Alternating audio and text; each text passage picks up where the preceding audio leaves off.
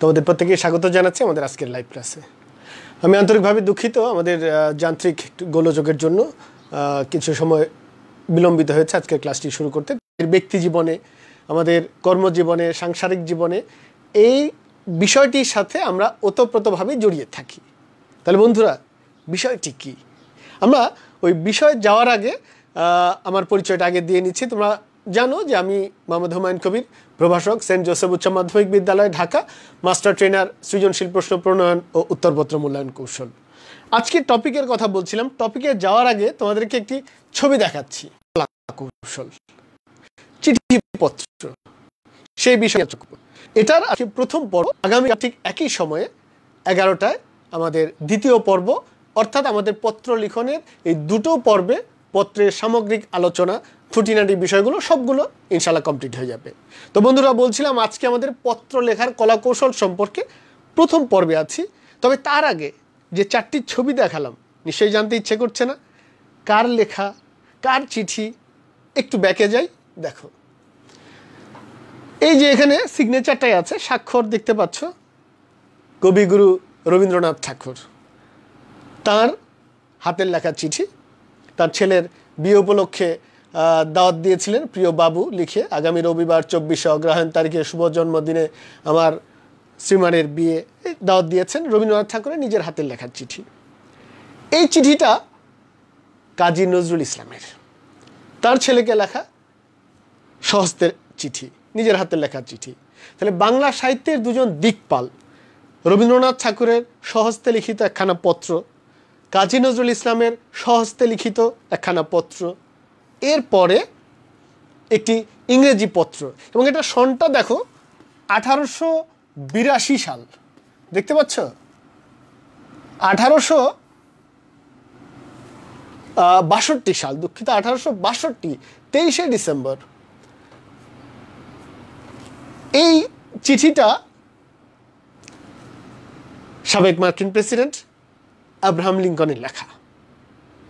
আবার তার পাশে যে চিঠিটা, এটা আরেকটা ঐতিহাসিক চিঠি এবং এটিও আরেকজন ঐতিহাসিক ব্যক্তিত্বের, যাকে না পেলে আমরা হয়তো আজকে এই স্বাধীন সার্বভৌম বাংলাদেশটি পেতাম না। জাতির জনক বঙ্গবন্ধু শেখ মুজিবুর রহমানের সহজতে লিখিত চিঠি দেখতে পাচ্ছ এটা। তার প্রিয় কন্যা, মাননীয় প্রধানমন্ত্রী জননেত্রী শেখ হাসিনাকে উদ্দেশ্য করে লেখা চিঠি। এই যে হাসুমণি, মাননীয় প্রধানমন্ত্রী যখন ইতালিতে ছিলেন, তখন বঙ্গবন্ধু জেলখানায় ছিলেন, জেল থেকে এই চিঠিটা তার কন্যাকে লিখেছিলেন। এই যে সেই সহস্তে লিখিত চিঠিটা মাননীয় প্রধানমন্ত্রীকে লিখেছিলেন, এটা উনিশশো উনসত্তর সালে। তেরো জুন উনিশশো উনসত্তর সালে লেখা পত্রটি। আমরা ঐতিহাসিক চারটি পত্র তোমাদের সামনে উপস্থাপন করলাম। এই কারণেই করলাম যে এই পত্র আমরা শুরুতেই বলছিলাম, আমাদের ব্যক্তি জীবনে, কর্মজীবনে, সাংসারিক জীবনে আর প্রাতিষ্ঠানিক ক্ষেত্রে তো আছেই। আমরা নানাভাবে এই পত্রের সাথে জড়িত থাকি। তো কাজেই এটার কলাকৌশলগুলো, এটার লেখার নিয়মকানুনগুলো আমাদের একটু ভালো মতো জানা দরকার। কারণ বলা তো যায় না, তুমি যদি আজকে এরকম একজন সেলিব্রিটি হয়ে যাও, আজকে তুমি একজন শিক্ষার্থী, একাদশ, দ্বাদশ শ্রেণির একজন শিক্ষার্থী, কিন্তু তুমি যখন এরকম একজন সেলিব্রিটি হবে, এরকম একজন স্মরণীয় বরণীয় ব্যক্তি হবে। তোমার এই নিজের লেখা চিঠিগুলো কিন্তু তখন একটা দলিল হিসেবে থেকে যাবে। এবং তোমরা জানো যে সুলিখিত চিঠি, সুন্দরভাবে লেখা কোনো চিঠি সাহিত্যিক মর্যাদা পায়। যেমন রবীন্দ্রনাথ ঠাকুরের লেখা চিঠিগুলো ছিন্ন পত্রাবলী নামে কিন্তু একটি আলাদা গ্রন্থই হয়ে গেছে। একান্ত তার ব্যক্তিগত চিঠি। তার স্ত্রীকে লিখেছেন বন্ধুকে লিখেছেন, সেই চিঠিগুলো, বৌদিকে লিখেছেন, সেই চিঠিগুলো কিন্তু আজকে সাহিত্যিক মর্যাদা পেয়ে গেছে। তাহলে বন্ধুরা, যে কথাটি বলছিলাম যে তোমার এই পত্র লেখার গুরুত্ব কিন্তু অসীম, অপরিসীম। তোমার সকল ক্ষেত্রে, শিক্ষাক্ষেত্রে যেমন, কর্মজীবনেও তেমনি। তাহলে আমরা চারটি ঐতিহাসিক পত্রের নমুনা তোমাদেরকে দেখালাম। এখানে থেকেও কিন্তু আমাদের ব্যক্তিগত পত্রের কিছু সিম্বল আমরা দেখতে পাচ্ছি। যেমন, একদম ওপরের ডানে স্থান, তারিখ, এখানে সম্ভাষণ, মূলপত্র, বিদায় সম্ভাষণ, এগুলো নিয়ে আমরা একটু পরে বিস্তারিত যাব। তো এই নমুনা দেখেই আমরা কিছুটা আইডিয়া করতে পারছি যে একটা পত্রের স্ট্রাকচার বা গঠন কেমন হতে পারে। তো বন্ধুরা, চলে যাচ্ছি তাহলে আমাদের আজকের যে মূল প্রতিপাদ্য বিষয় পত্র লেখার কলা কৌশল সেটার সম্পর্কে। একদম প্রথম পর্বে আমরা আছি। প্রথমে আমরা জানব যে পত্র কি? পত্র কি? পত্র একটি বিশেষ্য পদ। এই শব্দটি একটি বিশেষ্য পদ। আক্ষরিক অর্থ হলো বৃক্ষের বা গ্রন্থের পাতা। গাছের পাতাকে আমরা পত্র বলি, বইয়ের পাতাকে আমরা পত্র বলি। আবার ফলক, তাম্র তামার কোনো প্লেট, চিঠি, লিখিত কাগজ, পাখির ডানা, এগুলোকেও কিন্তু পত্র বলা হয়। আর বর্তমানে চিঠির সমার্থক শব্দ হয়ে গেছে পত্র। কেন? চিঠি বলতে আমরা বুঝি পত্র পত্র বলতেই বুঝি চিঠি। কি কারণে?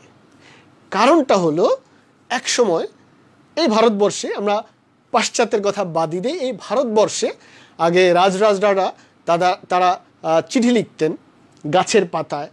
কবি সাহিত্যিকরাও কিছু লিখতেন, লিখে রাখতেন সেটা তাল গাছের পাতায়, সুপারি গাছের বাকলে। এই যে বিভিন্ন ধরনের পাতায় এই লেখালেখিগুলো হতো বলে পত্র থেকেই চিঠিটাও এসছে। অর্থাৎ চিঠির সমার্থক শব্দ হয়ে গেছে, পত্র। যেহেতু আগে পাতায় ভূর্জপত্র, গাছের পাতা তাল পাতা পাতায় লিখে রাখা হতো, ওখান শব্দটি চিঠির সমার্থক হিসেবে ব্যবহার করছি। তাহলে বন্ধুরা, এই পত্রের আক্ষরিক অর্থটা আমরা জানলাম যে পত্র গাছের পাতা, বইয়ের পাতা, পাখির ডানা ইত্যাদি, কিন্তু বর্তমানে আমরা আজকের ক্লাসের জন্য পত্র বলতে চিঠি বা চিঠিপত্রকেই বোঝাচ্ছি। ঠিক আছে? এবার যাচ্ছি কেন পত্র লিখতে হয়? দেখো, আপনজনদের সাথে তথ্য, ভাবের আদান প্রদান করতে আমরা পত্র লিখি।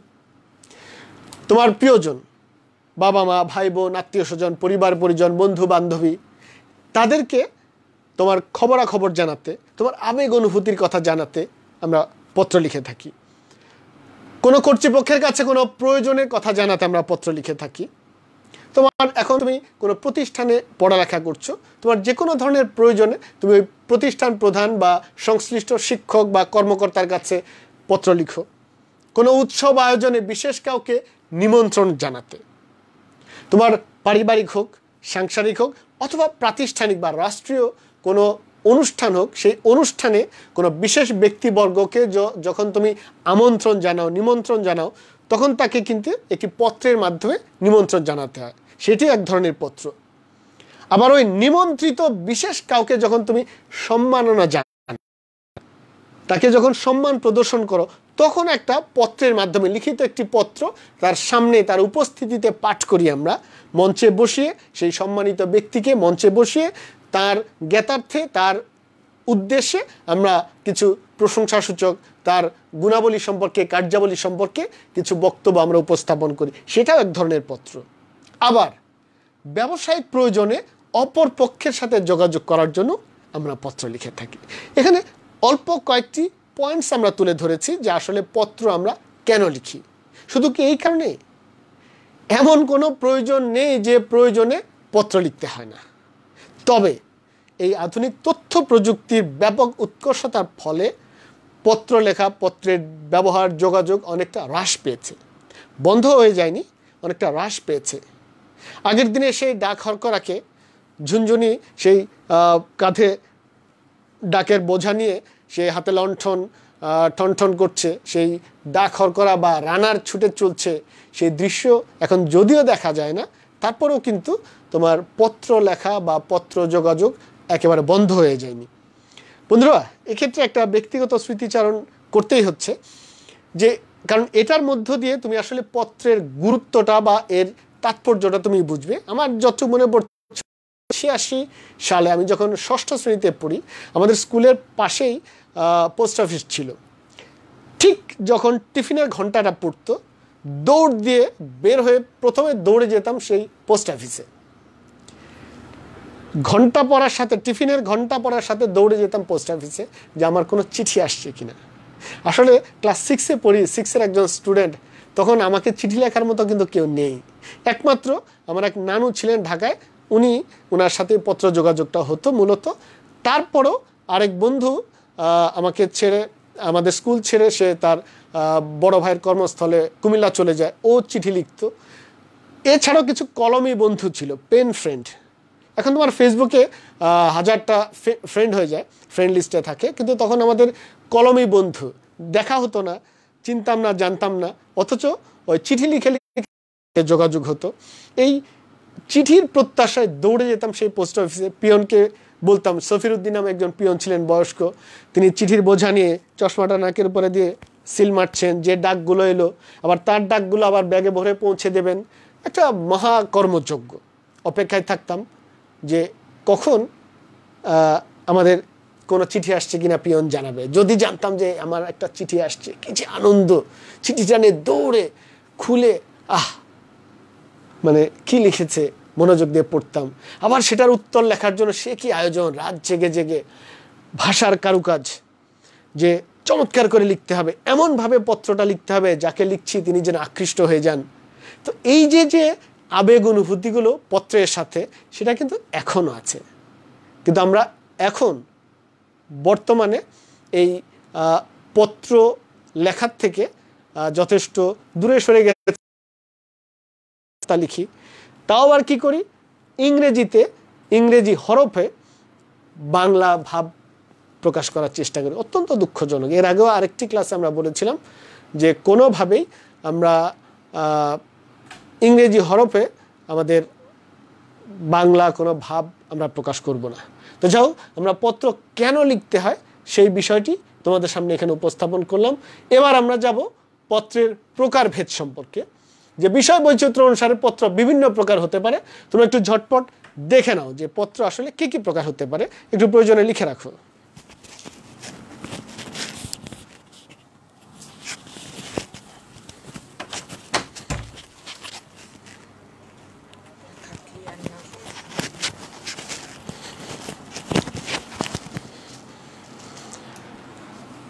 বন্ধুরা, দেখছিলে যে পত্র এখানে আমরা দেখিয়েছি ব্যক্তিগত পত্র বা সাংসারিক পত্র, দরখাস্ত বা আবেদনপত্র, ব্যবসায়িক পত্র, আমন্ত্রণ বা নিমন্ত্রণ পত্র, সংবাদপত্রে প্রকাশিত পত্র, স্মারকলিপি, মানপত্র বা শ্রদ্ধাঞ্জলি পত্র। এগুলো কিন্তু আসলে সুনির্দিষ্ট কোনো ভাগ নেই। আরও প্রয়োজনে বিভিন্ন ধরনের পত্র হতে পারে। এই যে এখানে আমরা সাতটি শ্রেণীবিভাজন দেখিয়েছি, এটা আরও অনেক প্রকার হতে পারে। সুনির্দিষ্ট কোনো শ্রেণীবিভাগ কিন্তু আমাদের নেই। তবে আমরা যারা শিক্ষা কার্যক্রমের সাথে, অর্থাৎ একাডেমিকভাবে পত্র পড়ালেখা করছি পত্র লিখি, তারা কিন্তু মূলত এই ব্যক্তিগত, সাংসারিক সংবাদপত্রে প্রকাশিত এই পত্রগুলোই মূলত লিখে থাকি। তাহলে আমরা তোমাদেরকে এই বিভিন্ন ধরনের পত্রের পত্রের শ্রেণীবিভাগগুলো বিস্তারিত আলোচনা করে দেখাবো, ঠিক আছে? শুরুতেই আমরা যাচ্ছি পত্রের আঙ্গিক বা গঠন কাঠামো সম্পর্কে।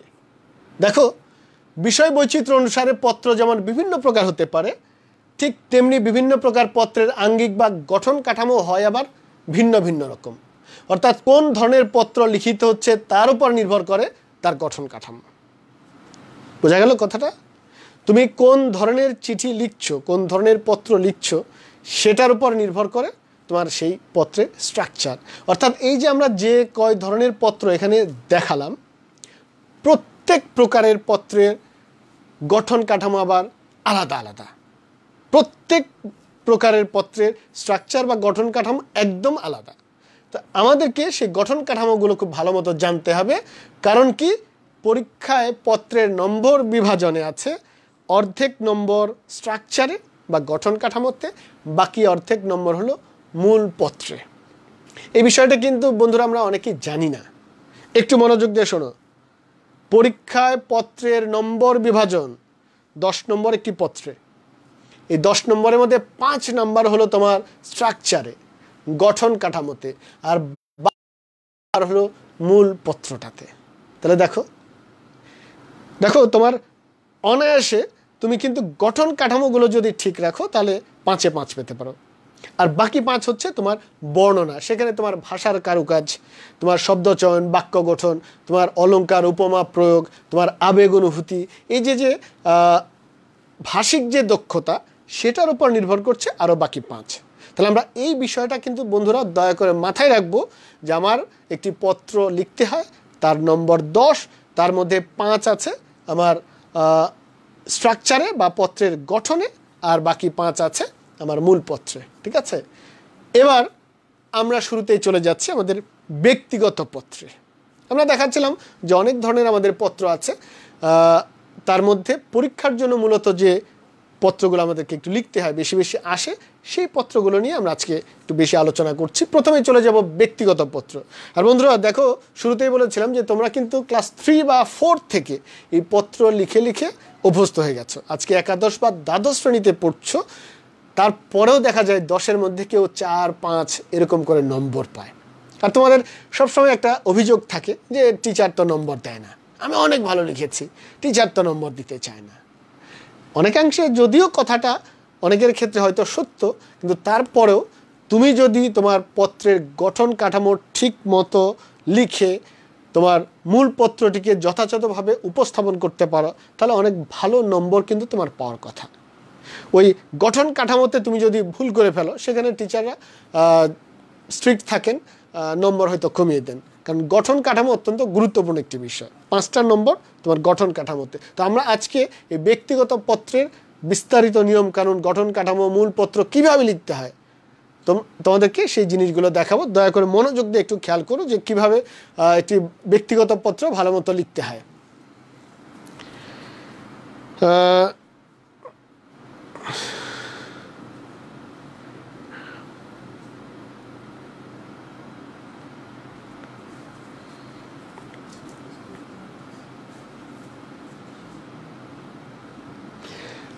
লেখা দেখা যাচ্ছে না বুঝছ আচ্ছা লেখা না দেখা গেল কোনো সমস্যা নেই। আমি তো মুখে উচ্চারণ করে করে বলছি। তোমরা পয়েন্টসগুলো খালি বুঝে নাও, তাহলে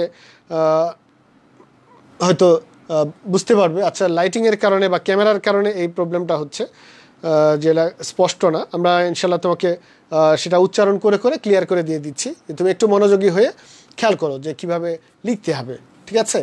তো আমরা ব্যক্তিগত পত্রে ছিলাম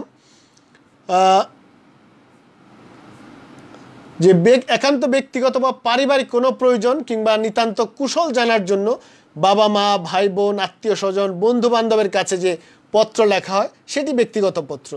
আর ভাব ভাবনার আদান প্রদান এ ধরনের পত্রের বৈশিষ্ট্য, এ ধরনের পত্রে তাই ব্যক্তিগত ভাবাবেগ ও উচ্ছ্বাসের প্রকাশ থাকে। ব্যক্তিগত পত্র এমনভাবে লিখতে হয় যেন তা পড়তে ভালো লাগে এবং প্রাপকের মনকে ছুঁয়ে যায়। এখানে ব্যক্তিগত পত্রে কিছু বৈশিষ্ট্যের কথা বলা আছে। যে ব্যক্তিগত পত্র আমরা লিখি, একান্ত ব্যক্তিগত কোনো খবর। তোমার আবেগ অনুভূতি, ভালো লাগা, মন্দ লাগা, তোমার পারিবারিক, সাংসারিক কোনো কুশল, এগুলো জানি আপন জনের কাছে। তোমার বন্ধু বান্ধবী প্রিয়জন বাবা মা ভাই বোন তাদের কাছে যে আমরা পত্রটা লিখি, সেটি ব্যক্তিগত পত্র। এই ধরনের পত্রের ক্ষেত্রে কি বলা আছে? ব্যক্তিগত আবেগ উচ্ছ্বাস, ভাবাবেগ, সেটা গুরুত্ব পাবে। এমনভাবে লিখতে হবে যেন যাকে লিখছো, তার মন ছুঁয়ে যায়। তোমার লেখাটা পড়ে সে যেন উদ্বুদ্ধ হয়। মোটিভেট হয়। এরকমভাবে ব্যক্তিগত পত্রটা লিখতে হয়। অর্থাৎ এখানে আবেগ অনুভূতির প্রাধান্যটাই সবচেয়ে গুরুত্বপূর্ণ বিষয়। এবার, ব্যক্তিগত পত্রের গঠন কাঠামোতে যাচ্ছি। বন্ধুরা, শুরুতেই বলছিলাম, পাঁচ নম্বর কিন্তু গঠন কাঠামোতে। এই জায়গাতে সবচেয়ে সবচেয়ে বেশি আমরা ভুল করে ফেলি। ওই যে দীর্ঘদিন ধরে অভ্যস্ত তো ওই ভুল হয়তো ছোটোবেলায় কোনো ক্লাসে হয়তো শিখেছি, সেটাই ধারাবাহিকভাবে চলছে। আজকে তুমি শেষবারের মতো ক্লিয়ার হয়ে নাও যে ব্যক্তিগত পত্রের কোন জায়গায় কোন পার্টে কী লিখতে হয়। দেখো, ব্যক্তিগত চিঠি বা পত্রের প্রধান দুটি অংশ। এক, পত্রের মূল কাঠামো বা ভেতরের অংশ বা পত্রগর্ভ। দুই, পত্রের আনুষঙ্গিক কাঠামো বা বাইরের অংশ বা খাম। তাহলে ব্যক্তিগত পত্রের আমরা দুটো অংশ পাচ্ছি। নাম্বার ওয়ান হলো ভেতরের অংশ বা মূল পত্রটা। আর একটা হলো বাইরের অংশ বা ইনভিলাপ বা খাম, ঠিক আছে? এবার মূল কাঠামো বা ভেতরের অংশটা কীভাবে লিখতে হয়, কোথায় কোনটা থাকে, কোন অংশটা সেটা দেখাচ্ছি। লেখার ক্রম অনুসারে ব্যক্তিগত পত্রের পাঁচটি অংশ থাকে। প্রয়োজনে ঝটপট একটু টুকে নাও। ব্যক্তিগত পত্রের যে মূল চিঠিটা, যে পত্রটা, সেটার লেখার সিরিয়াল অনুযায়ী ক্রম অনুসারে পাঁচটা অংশ। এক, শিরোনাম। দুই, সম্ভাষণ বা সম্বোধন। তিন মূল চিঠি বা পত্রগর্ভ। চার, পত্র সমাপ্তি বা বিদায় সম্ভাষণ এবং পাঁচ, নাম স্বাক্ষর। আমি আরেকবার বলছি আরেকবার বলছি, প্রয়োজনে ঝটপট একটু টুকে নাও। আমরা ব্যক্তিগত পত্র লিখব, তার দুটো পার্ট, একটা ভেতরের অংশ, একটা বাইরের অংশ। ভেতরের অংশে সিরিয়ালি পাঁচটা পার্ট থাকে। সিরিয়ালে, লেখার ক্রম অনুযায়ী। এক নাম্বার যেটা, ওটা এক নাম্বারেই। দুই যেটা আছে, ওটা দুইয়েই। ঠিক আছে? এই জন্য বলছি, লেখার ক্রম অনুসারে অ্যাকর্ডিং টু সিরিয়াল ধারা অনুসারে। সবার প্রথম হচ্ছে এক, শিরোনাম। দুই, সম্ভাষণ বা সম্বোধন। তিন, মূল চিঠি বা পত্রগর্ভ। চার, পত্র সমাপ্তি বা বিদায় সম্ভাষণ। পাঁচ, নাম স্বাক্ষর। এই পাঁচটি পার্ট তাহলে বন্ধুরা, আমরা জানলাম ব্যক্তিগত পত্রের মূল অংশে, ভেতরের অংশে আমার পাঁচটা পার্ট থাকবে। এখন দেখব আমরা এই পাঁচটি পার্ট কোনটা কোন জায়গায়? এটাই কিন্তু গুরুত্বপূর্ণ। আমরা এটাই ওলট পালট করে ফেলি এবং এটা নিয়ে বিভ্রান্তিও আছে। অনেক প্রতিষ্ঠানে এক একজন এক একভাবে শেখায় এবং তার মতো না হলে দেখা যায় কেটে দেয়, নম্বর দেয় না, এরকম একটা বিভ্রান্তি আছে। আমি এখানে যে জিনিসটা দেখাচ্ছি, এটা এনসিডিবি প্রেসক্রাইবড। তুমি নিশ্চিন্তে এটার উপর ভরসা করতে পারো। আমার ব্যক্তিগত কোনো মতামত এটা না। National curriculum and textbook board এবং ভাষাবিদ ব্যাকরণবিদ তাঁরা যে রুলসকে, যে নিয়মটাকে ব্যক্তিগত পত্রের ক্ষেত্রে অথেন্টিক মনে করছেন, সেই ফর্মুলাটা, ফর্মটা তোমাদের সামনে দেখাচ্ছি। তাহলে পাঁচটি অংশ ব্যক্তিগত পত্রের। এবার কোনটা কোথায় লিখতে হয় দেখো। এক, শিরোনাম কি? পত্রের ওপরের ডান দিকে পত্র লেখকের বা প্রেরকের সংক্ষিপ্ত ঠিকানা ও তারিখ লিখতে হয়। এই শিরোনাম মানে কিন্তু হেডলাইন না তাহলে। এই শিরোনাম কি? তুমি পত্র লেখক চিঠি লেখার শুরুতেই একদম ওপরের ডান দিকে তুমি কি লিখবে? তোমার ঠিকানা এবং তারিখ। এটার নাম ওই শিরোনাম। শহরের ঠিকানা একরকম, গ্রামের ঠিকানা একরকম হয়। আমরা দেখাচ্ছি তোমাকে, দেখো। এই যে, এটা যদি আমার একটা খাম হয়, দেখো। মানে মূল পৃষ্ঠা হয় পত্রের একদম ওপরের ডান পাশে কোনায়। আমরা যে চারটা চিঠির নমুনা দেখিয়েছিলাম, সেখানেও তোমরা দেখেছ একদম ওপরে কোনায়, ডান পাশে কোনায় ঠিকানা, প্রেরকের সংক্ষিপ্ত ঠিকানা এবং তারিখ। বর্তমানে কিন্তু অনেকেই অনেকেই এটাকে বামে টেনে এনে লেফট অ্যালাইন করে দেওয়ার কথা বলে থাকে। কিন্তু ব্যক্তিগত পত্রের ক্ষেত্রে ওই যে বলেছে এনসিটিভি এবং বিজ্ঞজনেরা, ভাষাবিদ, সাহিত্যিক তারা কিন্তু বাংলার নিজস্ব রীতিটাকে অনুসরণ করছেন। আমি আবার তোমাদেরকে বলছি কথাটি যে অনেকেই বর্তমানে এই যে শিরোনামকে টান দিয়ে বামে এনে যে ওপরে তারিখ, ঠিকানা লেফট সাইডে সবগুলো একদম বাম পাশ থেকে শুরু করার কথা অনেকে বলে থাকেন। কিন্তু ব্যক্তিগত পত্রের ক্ষেত্রে এনসিটিভি এবং সাহিত্যিক সাংবাদিক বা এবং ভাষাবিদ যারা আছেন, তারা কিন্তু বাংলার নিজস্ব স্টাইলটাকে ফলো করতে বলছেন। আর নিজস্ব স্টাইল হলো এটা। যে ব্যক্তিগত পত্রে প্রেরকের ঠিকানা এবং তারিখ হবে ঠিক এইভাবে। যেমন এখানে আমরা লিখেছি, দেখো, সাতাশি হাতেমবাগ রোড, ধানমন্ডি, ঢাকা, বারোশো নয়, তেসরা জুন দু পত্র লিখক, যিনি লিখছেন লেখক, তার ঠিকানা এটা এবং নিচে তারিখ। স্থান, তারিখ। তাহলে তুমি খুব সংক্ষেপে এটা মনে রাখো। যে কোনো ব্যক্তিগত পত্র যখন লিখবে, তোমার যে পৃষ্ঠা, সেই পৃষ্ঠার ওপরের ডান দিকে তোমার ঠিকানা এবং তারিখ। এটারই নাম, শিরোনাম। তাহলে ক্লিয়ার বন্ধুরা? যখনই কোনো চিঠি তুমি লিখবে, ব্যক্তিগত কোনো চিঠি, তোমার যে পেজ বা পৃষ্ঠা, সেই পৃষ্ঠার ওপরের ডান দিকে লিখতে হবে তোমার ঠিকানা, সংক্ষিপ্ত ঠিকানা। এখানে শহরের ঠিকানা, তোমার গ্রামের যদি হয় তাহলে গ্রামের নাম, থানা, জেলা আর তারিখ। সংক্ষিপ্ত ঠিকানা আর তারিখটা দিয়ে তোমার শিরোনাম হয়ে গেল। এটা নাম্বার ওয়ান পার্ট প্রথম কাজ। ও, মাঝখানে আরেকটা জিনিস বলে রাখি। অনেক আগে কিন্তু এই, এখানে একটা, এটা যদি পৃষ্ঠা হয়, ঠিক মাঝখানে এই জায়গায় একটা মঙ্গল সূচক শব্দ লেখার একটা রীতি ছিল।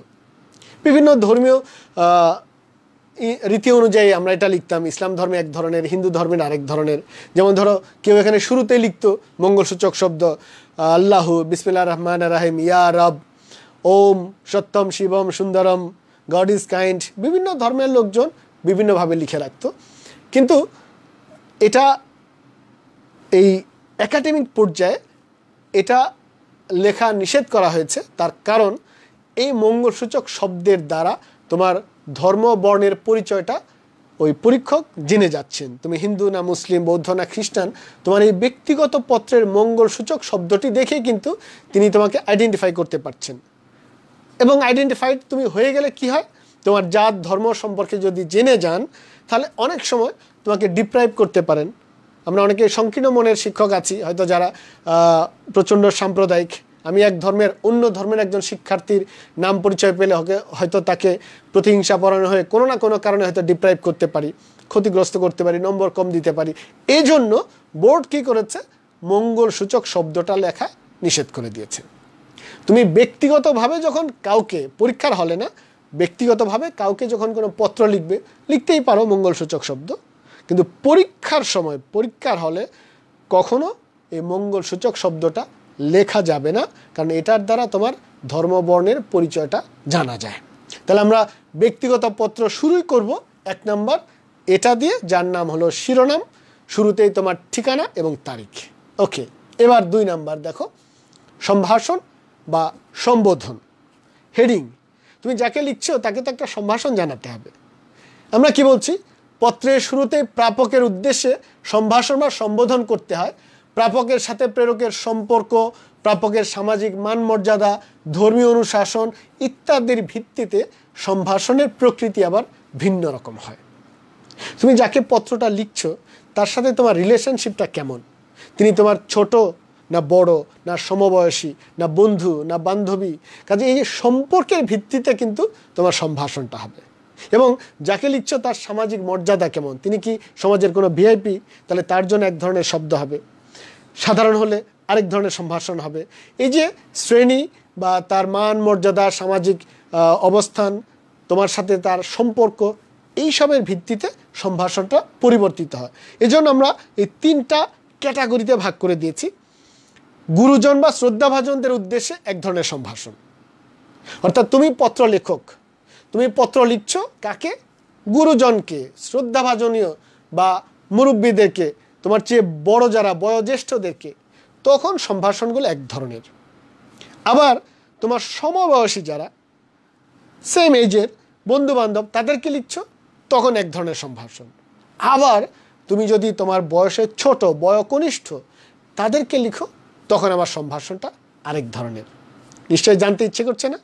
যে আসলে আমরা যদিও বলছিলাম যে বিজ্ঞান প্রযুক্তির উৎকর্ষতার ফলে আমরা এখন পত্র লেখার অভ্যাস একেবারেই আমাদের নেই কিন্তু আমি মনে করি লেখার অভ্যাস করা উচিত এবং কেন উচিত একটু পরে জানাব।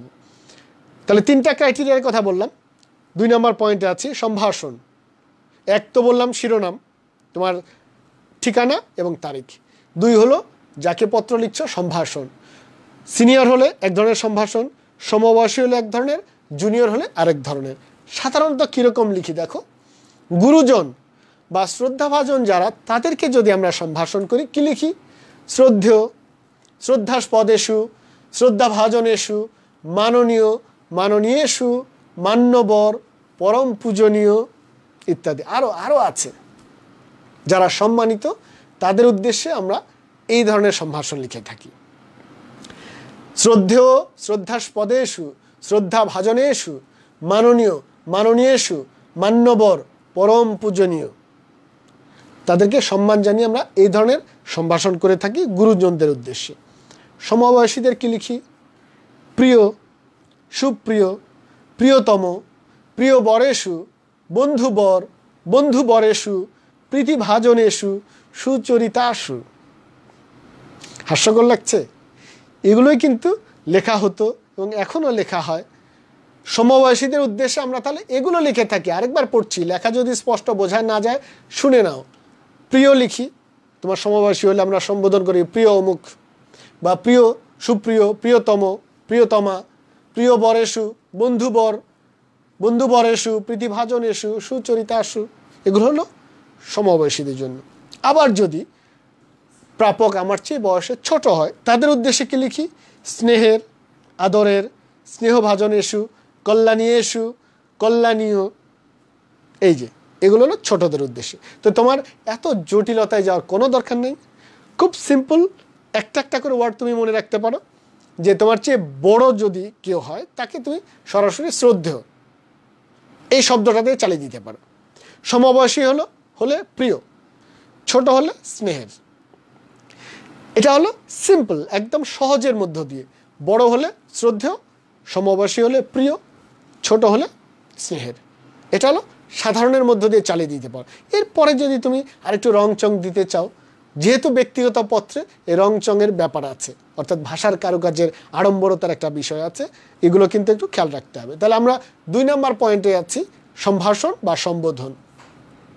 তিন নাম্বার, এবার হলো মূল চিঠি, যে চিঠিটা আমি লিখব। এটাও কিন্তু স্ট্রাকচারেরই একটি অংশ। পত্রের যে গঠন কাঠামো তারই কিন্তু একটা অংশ, এই মূল চিঠি। চিঠির মূল অংশ এটি। এই অংশে পত্র লেখকের বক্তব্য বিষয়, তার আবেগ অনুভূতি, তার ইচ্ছা, উদ্দেশ্য ইত্যাদি সহজ সরল ও হৃদয়গ্রাহী করে উপস্থাপন করতে হয়। ব্যক্তিগত পত্রে কিন্তু এই বিষয়টি অত্যন্ত গুরুত্বপূর্ণ এবং এইটুকের জন্য নম্বর কিন্তু আবার পাঁচ। এই যে মূল পত্র যেটা, মূল চিঠি যেটা, এটার জন্য নম্বর বরাদ্দ পাঁচ। এখন তাহলে এটা কীভাবে লিখতে হবে? বলাই আছে তোমার ব্যক্তিগত আবেগ অনুভূতি অন্যের উদ্দেশ্যে লিখবে এবং সেটা হৃদয়গ্রাহী করে। যাকে লিখছো, তার যেন মন ছুঁয়ে যায়। চিঠিটা পড়ে সে যেন খুব আবেগ আপ্লুত হয়ে যায়। তুমি যা বলতে চাচ্ছ, সেটাতে যেন সে একাত্মতা পোষণ করে। সাধারণত শুরুতে আমরা কি করি? সালাম বা কুশল বিনিময় করে লেখা শুরু করি।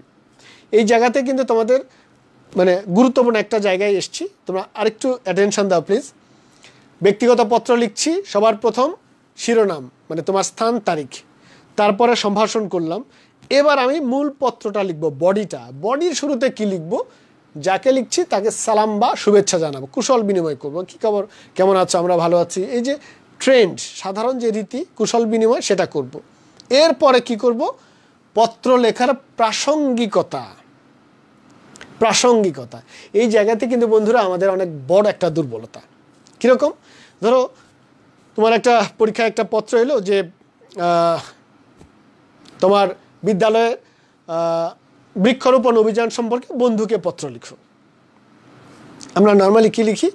ওই যে শুরুতে লিখলাম শিরোনাম মানে তোমার ঠিকানার তারিখ, তারপরে প্রিয় বন্ধু অমুক, সম্ভাষণ হয়ে গেল।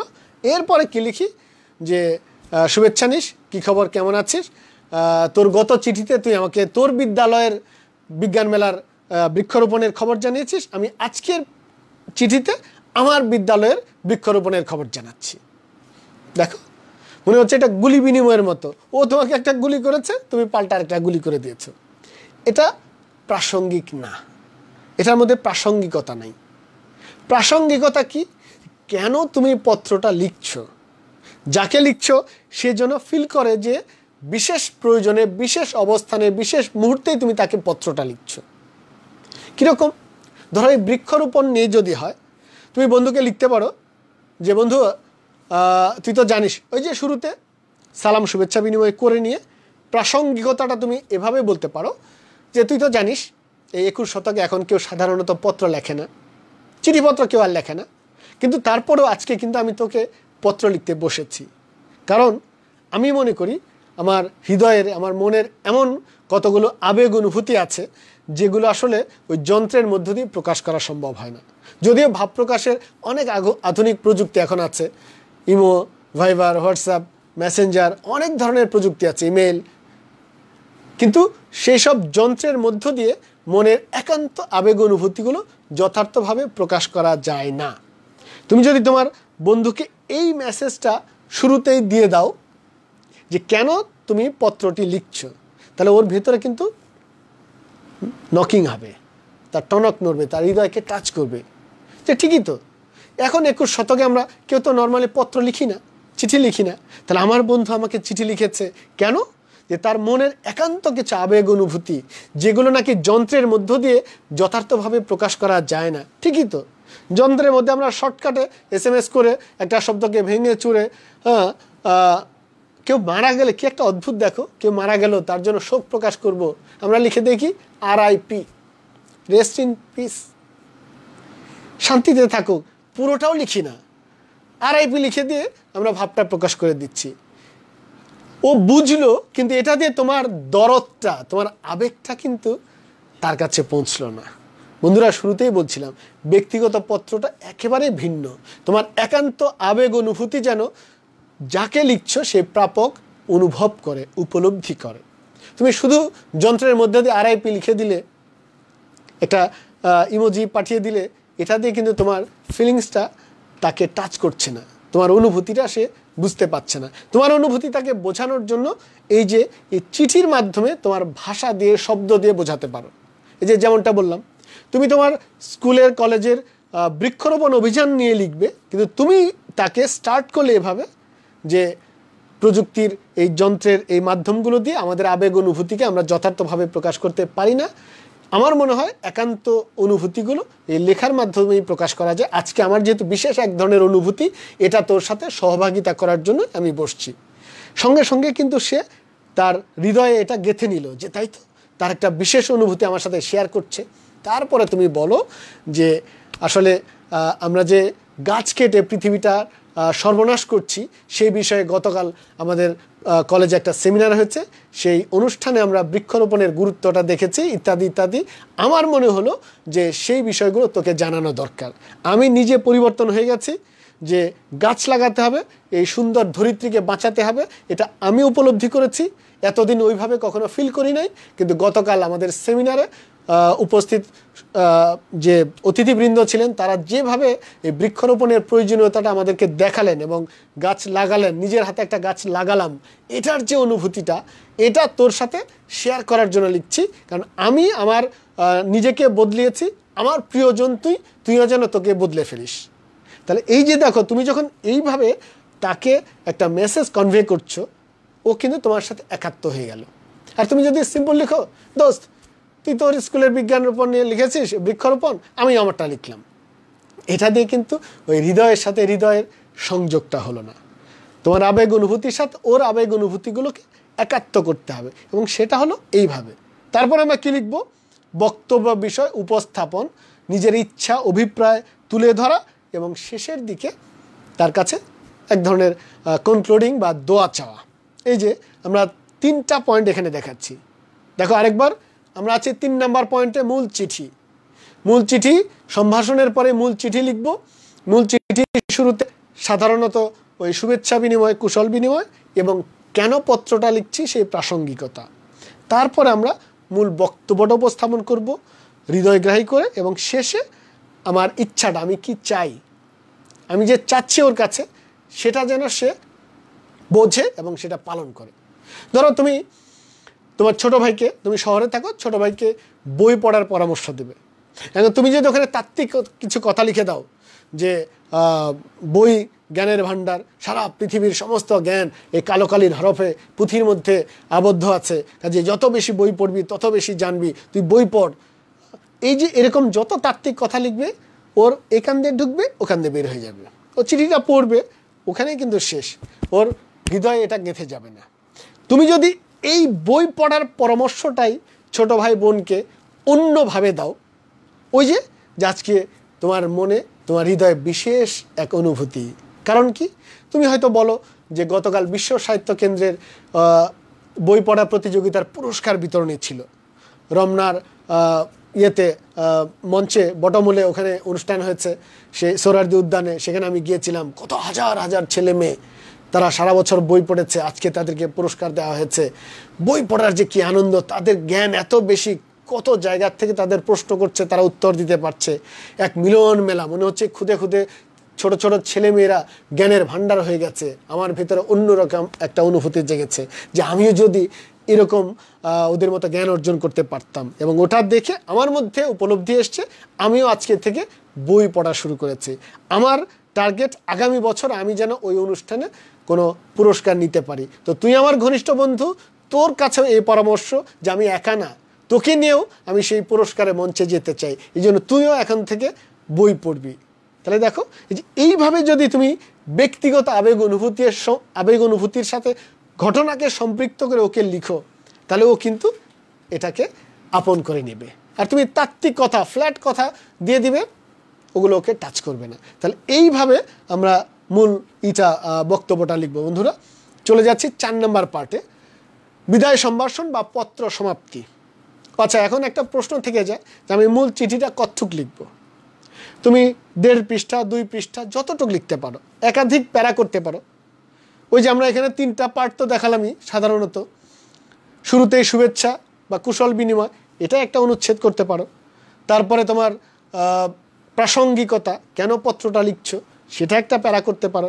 মূল বক্তব্য, এখানে একাধিক প্যারা আসতে পারে। কোনো কবিতার লাইন আসতে পারে, কোনো কোটেশন আসতে পারে। প্রাসঙ্গিকভাবে, এক কথায় তোমার মাথায় থাকতে হবে যে তুমি যা লিখছো, এটা যাকে লিখছো, ওর মনে যেন দাগ কেটে যায়। এমনভাবে প্রেজেন্ট করতে হবে যে তোমার এই লেখাটা তোমার ওই প্রাপকের মন ছুঁয়ে যেন যায়। এই জন্য যা করা দরকার, কবিতা হোক, গান হোক আবেগ, অনুভূতি, সূচক শব্দ হোক যে কোনোভাবে ওর হৃদয়টাকে গলিয়ে দিতে হবে। কারণ তুমি এর মধ্য দিয়ে একটা মেসেজ তাকে দিচ্ছ।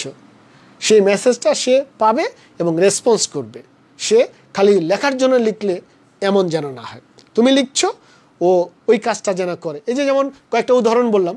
ছোট ভাইকে, বোনকে বই পড়ার পরামর্শ দিলে। সত্যিকার অর্থে তোমার পরামর্শ শুনে ওরা যেন বই পড়া শুরু করে। বৃক্ষরোপণের কথা বললে। সত্যিকার অর্থেই তোমার চিঠিটা যেন এমনভাবে তার মনে দাগ কাটে, সে সারা জীবন যেন বৃক্ষরোপণের সাথে ওতপ্রোতভাবে জড়িত হয়ে যায়। গাছ কাটার কথা যেন সে মাথায় না আনে। এমনভাবে তাকে মোটিভেট করতে হবে। বক্তব্যটা হবে সোজা কথায় মোটিভেশনাল সেই জন্য প্রয়োজনীয় যে আবেগ অনুভূতি, যে শব্দ, সবগুলো দিয়ে এটা লিখতে হবে। এরপরে হলো কি? চার নাম্বার বিদায় সম্ভাষণ। পত্রের বক্তব্যের শেষে নিচের ডান দিকে পত্রের সমাপ্তি সূচক বিদায় সম্ভাষণ জানানোর রীতি সুদীর্ঘকাল ধরে চলে আসছে এবং এটি সৌজন্যের পরিচায়ক। বিদায় সম্ভাষণে সাধারণত ইতি, নিবেদন ইতি এগুলো আমরা লিখে থাকি। এর বাইরেও প্রেরক প্রাপকের সম্পর্কের উপর ভিত্তি করে আমরা বিদায় সম্ভাষণও অনেক রকম লিখে থাকি। চার নম্বর পয়েন্টটা কি বন্ধুরা? বিদায় সম্ভাষণ। খেয়াল করো, আমরা কিন্তু দুই নাম্বারেও এই সম্ভাষণ পেয়েছিলাম। ওটা স্টার্টিংয়ের সম্ভাষণ হেডিং স্টার্টিংয়ের এটা হলো ফিনিশিংয়ের হেডিং মাঝখানে তোমার চিঠিটা। ঠিক আছে? প্রথমে শুরুতে সম্ভাষণ জানিয়েছিলাম, যাকে লিখছি প্রাপকের উদ্দেশ্যে। ওই যে সিনিয়র হলে এক ধরনের, সমবয়সী হলে এক ধরনের, ছোট হলে আরেক ধরনের। এখানেও কিন্তু বিদায় সম্ভাষণ। এটাও ঠিক একইভাবে। অর্থাৎ গুরুজনের জন্য এক ধরনের, সমবয়সীদের জন্য এক ধরনের, ছোটদের জন্য আরেক ধরনের। এবং এটাকে আমি খুব সহজভাবে বলে দিই, ওই দুই নাম্বার সম্ভাষণে যা দিয়েছিলে, ঠিক তার উল্টাটা বিপরীতটা হবে এখানে। বোঝা গেল না? দুই নাম্বার সম্ভাষণ, তুমি প্রেরক, তুমি পত্র লিখছো। যাকে লিখছো, ওই দুই নাম্বার সম্ভাষণে তাকে লিখেছো। সিনিয়র হলে লিখেছো শ্রদ্ধেয়। তাহলে এখানে কি হবে? ইতি আপনার স্নেহের, কারণ তখন তুমি ছোট।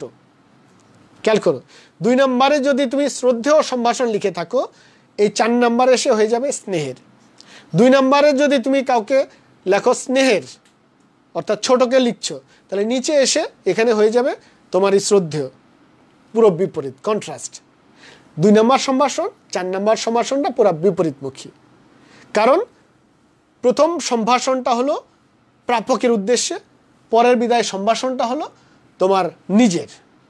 তুমি যদি সিনিয়রকে লিখে থাকো, তাহলে এখানে তুমি জুনিয়র। তুমি যদি জুনিয়রকে শুরুতে লিখে থাকো, এখানে তুমি সিনিয়র। আবার সমবয়সীটা সেম সেমই থাকে। ঠিক আছে? আমরা উদাহরণ দিয়ে দেখাচ্ছি। দেখো। এই যে নাম স্বাক্ষর লাস্ট পয়েন্টটা দিয়ে একসাথে উদাহরণটা দিচ্ছি। বিদায় সম্ভাষণের নিচে পত্র লেখকের নাম স্বাক্ষর থাকতে কোনো নাম না লিখে নামের মূল অংশ বা ডাক নামটা লেখাই উত্তম, সঙ্গত। যেমন, এই যে দেখো, আমরা স্ল্যাশ দিয়ে দিয়ে দেখাচ্ছি। ইতি, স্নেহধন্য বা প্রীতিমুগ্ধ বা শুভার্থী বা তোমারই ইউসুফ স্ল্যাশ আমি। এই যে এটা হলো তোমার নাম স্বাক্ষর। এই যে হয়তো ইউসুফ যদি পত্রটা লিখে থাকে, তাহলে সে লিখেছে কি? ইতি তোমার ইউসুফ। আবার কেউ লিখে ইতি তোমারই আমি। এই যে এটাই হলো নাম স্বাক্ষর, একদম নিচেরটা। আর এই উপরেরটা হলো কি? তোমার ওই সমাপ্তি সূচক, বিদায় সম্ভাষণ। আরেকবার দেখো। এটা হলো এই যে ইতি, স্নেহধন্য, প্রীতিধন্য। এই লাইনটা হলো কিন্তু তোমার বিদায় সম্ভাষণ। আর এই যে নিচে তোমার নামটা লিখছো, বা কেউ নাম লিখে, না লিখে বলে তোমারই আদরের কন্যা, আদরের পুত্র, আমি, এটা হলো নাম স্বাক্ষর। এই হলো তোমার পাঁচটা পার্ট এটা হলো মূল পত্রের। তাহলে বন্ধুরা, এক ঝলকে আমরা এই পাঁচটা পার্ট দেখে নেই। শুরুতেই বলছি যে উপরে তোমার ঠিকানা, তারিখ, এটা হলো শিরোনাম। দুই হলো তোমার সম্ভাষণ। তিন মূলপত্র চার, বিদায় সম্ভাষণ। পাঁচ, হলো তোমার এই হলো পাঁচটা পার্ট তোমার ভেতরের অংশের জন্য। এবার আমরা চলে যাব পত্রের যে বাইরের অংশটা। খ নাম্বার, এই যে একটা খাম দেখানো আছে। এই খাম এটা রাষ্ট্রীয় একটা খাম আমাদের। নীল খাম হতে পারে, অন্য রঙের খাম হতে পারে, বেসরকারি খাম হতে পারে। এই যে ডান পাশে হলো প্রাপকের ঠিকানা, বাম পাশে হলো তোমার ঠিকানা। দেখো, প্রাপকের ঠিকানাটা এভাবে লেখা আছে। প্রাপক মোহাম্মদ জহুরুল ইসলাম, গ্রাম কোনামালঞ্চ ডাকঘর হাজরাবাড়ি উপজেলা মেলান্দ, জেলা জামালপুর। এখানে পোস্টাল কোড তুমি পোস্ট অফিসের কোডটা লিখে দাও, দ্রুত ডাকটা পৌঁছে যাবে। বাম পাশে আছে প্রেরকের ঠিকানা। আবদুল্লাহ ইউসুফ, সাতাশে হাতামবাগ রোড, ধানমন্ডি, ঢাকা বারোশো নয়। তো এটা আবার দুই ধরনের হয়। এই প্রেরকের ঠিকানাটা ব্যাক পেজে এই খামের অপর পৃষ্ঠাতেও লেখার নিয়ম আছে, কেউ লিখে থাকে। বাম পাশে লেখা যায়, ডান পাশ ব্যাক পেজে লেখা যায়, কোনো সমস্যা নেই। এটা হলো খাম। এটা হলো বাইরের পার্ট এখানে গুরুত্বপূর্ণ কয়েকটা তথ্য। নাম্বার ওয়ান যদি তুমি কোনো প্রবাসী বন্ধুকে বা আত্মীয় স্বজনকে পত্র লিখো, অবশ্যই অ্যাড্রেসটা ইংরেজিতে লিখতে হবে। রিমেম্বার বাংলায় লিখলে হবে না কিন্তু। তোমার অস্ট্রেলিয়ার কোনো বন্ধুকে পত্র লিখবে, বাংলায় ঠিকানা লিখেছো, এটা ডেড লেটার হিসেবে জিপিওতে পড়ে থাকবে মানে মৃত চিঠি। এরকম হাজার হাজার চিঠি কিন্তু ডেড লেটার হয়ে যায়। অস্পষ্ট ঠিকানা কোড নাম্বার নাই, ভুল ঠিকানা, তখন এই চিঠিগুলোকে পোস্ট অফিস কর্তৃপক্ষ করে কি? মৃত চিঠি হিসেবে পুড়িয়ে ফেলে। তো তুমি যখন মনে রেখো, প্রশ্নে ভালো মতো পড়বে যে তোমার প্রবাসী বন্ধুকে লিখতে বলছে, তখন অবশ্যই টু কাকে লিখছো তার ঠিকানা ইংরেজিতে, তোমার ঠিকানা ইংরেজিতে। ঠিক আছে? আরেকটা জিনিস লেখা হয়ে থাকে বাই এয়ার মেইল অর্থাৎ চিঠিটা বিমান যাবে, বিমান যোগে যাবে, এই ডাকটা বাই এয়ার মানে বিমানে যাবে মেল এই মেল বা চিঠিটা বাই এয়ারে যাবে। ওটা লিখলেও হয়, না লিখলেও হয়, কিছু আসা যায় না। কিন্তু লেখার একটা রীতি ছিল উপরে, মাঝখানে, এই জায়গায়, বাই এয়ার মেল। তাহলে বন্ধুরা, আমরা গুরুত্বপূর্ণ তথ্যটি জানলাম। প্রশ্নের মধ্যে কৌশলে কিন্তু দিয়ে দেয় এটা, যে তোমার প্রবাসী বন্ধুকে। তুমি যদি একটু অসচেতন হয়ে যাও, খেয়াল না করো, প্রবাসী শব্দটা তখন হয়তো বাংলায় ঠিকানা লিখে ফেললে তোমার একটা নম্বর কাটার সুযোগ তৈরি হয়ে গেল। কাজে এটা খুব ভালো মতো খেয়াল করবে। যদি দেশের মধ্যে হয়, এমনকি যদি ধরো পশ্চিমবঙ্গ, কলকাতা, তোমার এক বন্ধু আছে, বাংলা জানে ওকেও কিন্তু বাংলায় লেখা যাবে না। কারণ এই চিঠিটা কলকাতাতে যাবে অবশ্যই ইংরেজিতে। ঠিকানাটা ইংরেজিতে লিখতে হবে। দেশের বাইরে গেলেই সেই চিঠির ঠিকানা ইংরেজিতে হবে। চিঠিটা কিন্তু আবার বাংলাতেই হবে। মূল পত্রটা। শুধু বাইরের অ্যাড্রেসটা ইংরেজিতে হয়ে যাবে। এটা হলো এই যে বাইরের অংশ বা কাঠামো। এখন কতটুক লিখবে? কোন জায়গা থেকে লিখবে? সবচেয়ে বড় বিভ্রান্তিটা। স্পষ্ট করে শুনে নাও, একদম সময় শেষ আছে। এক মিনিটের মধ্যে আমরা শেষ করে দিচ্ছি আজকের ক্লাস। আবার মনে করে দিই আগামীকাল ঠিক এগারোটায় এই পত্রের দ্বিতীয় পার্টে বাকি যে পত্রগুলো আছে, সেগুলো নিয়ে আমরা পত্রের পর্বটা শেষ করব ইনশাল্লাহ। শুনে রাখো, পরীক্ষার খাতায় বাম পাশ, ডান পাশ, যে কোনো জায়গার থেকে পত্র লেখা শুরু করা যায়। অনেকেই করে কি, মনে করে যে লেফট সাইড থেকে বাম পাশ থেকে পত্র লেখা শুরু করতে হবে। এই জন্য ডানের পাতা ফাঁকা থাকলেও ওটা রেখে ক্রস চিহ্ন দিয়ে পরের পৃষ্ঠায় চলে যায়। এই সমস্ত কোনো ট্র্যাডিশন ফলো করবে না। তোমার আগের প্রশ্ন যেখানে শেষ, তারপরের থেকে তুমি পত্র লেখা শুরু করতে পারো। এর জন্য নির্ধারিত কোনো নিয়ম নেই। বাম পাশ হোক, ডান পাশ হোক যে কোনো জায়গার থেকে পত্র লেখা শুরু করা যাবে। ঠিক আছে? আর পত্র দুই পৃষ্ঠা হোক, আড়াই পৃষ্ঠা হোক, কোনো অসুবিধা নেই। তোমার বক্তব্য যতটুক প্রয়োজন, ততটুকুই তুমি লিখবে। আর এই বক্তব্যের মধ্যে কোনো কোটেশন কবিতার লাইন গান যে কোনো কিছু তুমি ইনসার্ট করতে পারো। ঠিক আছে? তাহলে বন্ধুরা, আজকে আমরা পত্রের সাধারণ আলোচনা, পত্র কি এবং ব্যক্তিগত পত্রের বিস্তারিত নিয়ম কানুন এবং কলা কৌশল জানলাম। ইনশাআল্লাহ আগামীকাল ঠিক এগারোটায় আমরা বাকি পত্রগুলো, সংবাদপত্রে প্রকাশিত পত্র, স্মারকলিপি, ব্যবসায়িক পত্র, আবেদনপত্র, যে যা, বাকি যা আছে, এগুলো নিয়ে আগামীকাল তোমাদের সামনে হাজির হব। ততক্ষণ পর্যন্ত বন্ধুরা, সবাই ভালো থাকো, সুস্থ থাকো, সুন্দর থাকো। ধন্যবাদ।